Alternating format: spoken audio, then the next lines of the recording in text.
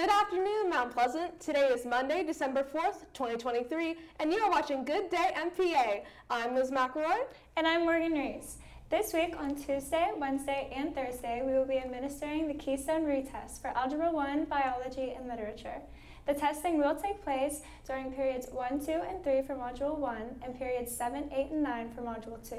A list of the testing rooms will be posted in the hallway outside of Mr. Gambita's office.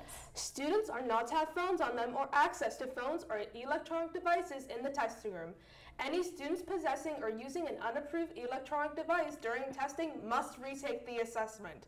To avoid having to retake a module, please leave your phones and any other electronic devices or smartwatches at home or in your locker. Students are also reminded to avoid outside distractions, get a good night's sleep, eat a healthy breakfast, and do their absolute best on the test. You guys are going to rock them. It's going to be great. Attention junior high students, the Christmas dance will be Friday, December 15th from 7 to 9 p.m. in the cafeteria. Tickets will be sold for $8 in lunch periods from December 11th to the 14th and will cost $10 at the door. Semi-formal attire is encouraged. Attention senior high students, tickets to our Christmas dance will be on sale during lunch periods too. It'll take place on December 16th at the Polish Falcons Club. A single ticket is $24 and a couple's ticket is $48. There is a limit of 200 people able to attend, so be sure to get your tickets soon.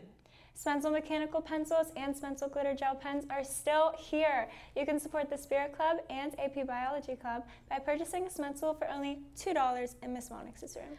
Attention all students, after school study groups will meet every Tuesday and Thursday in the high school library from 2.45 to 4.15.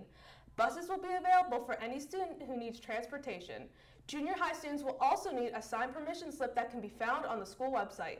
Please see Ms. Kreider in room 212 with any questions at all. All students should be checking their school email daily. This is how teachers, counselors, administrators, and even us here at Good Day MPA communicate information that may be specific to each one of you. And as always, if you'd like an announcement on the air, please send an email to mpatv at mpasd.net by 2.30 on the day prior to your announcement. Our quote of the day is from our very own Mr. Gambita, who said, You're going to be big one day. And look at us, we're seniors. We are. For Morgan and the rest of us at Good Day MPA, have a magical Monday, Mount Pleasant.